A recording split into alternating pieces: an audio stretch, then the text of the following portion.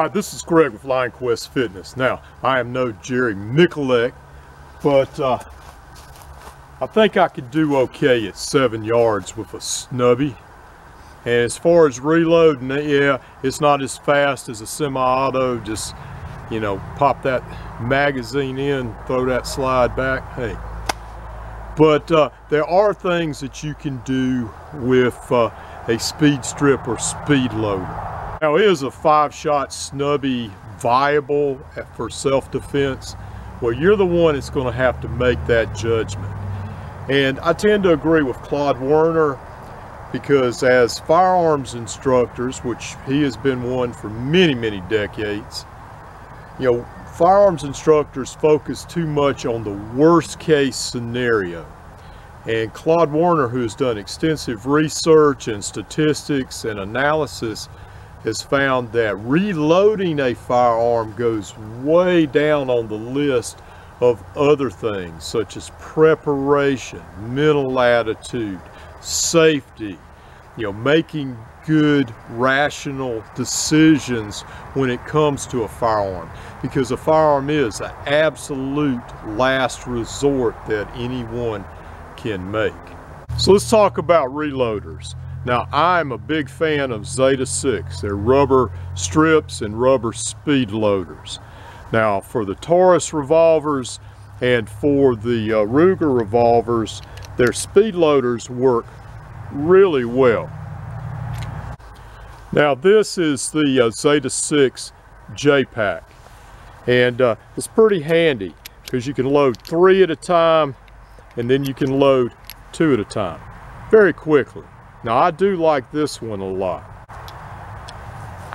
Now this is the SIM strip and you load two, one, and two. And it's got handles on both ends. Now this is also a very good one. You know, load two, load one, load two more, you're back into the fight. Now this one is the J strip and uh, this is my favorite because I can use this with any of my snubby revolvers and uh, with this one you load two,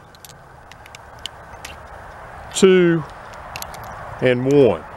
The good thing about this, if say like you have to remove a couple of cartridges and maybe just reload with one or two, this works very, very well.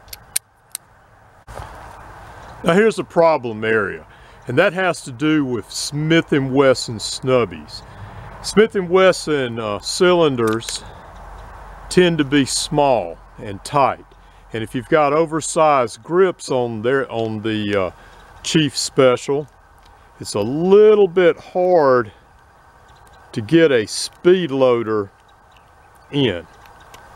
However, speed strips work well for my Smith & Wesson snubs, even if I have oversized grips. Now other people like other types of speed loaders and speed strips, I'm just telling you what I like and what seems to work best for me. And I do think the Zeta 6 speed strips are very innovative. Now this is Greg with Lion Quest Fitness reminding you, it's not the firearm but your ability to use that firearm is what's important, as well as good decision making.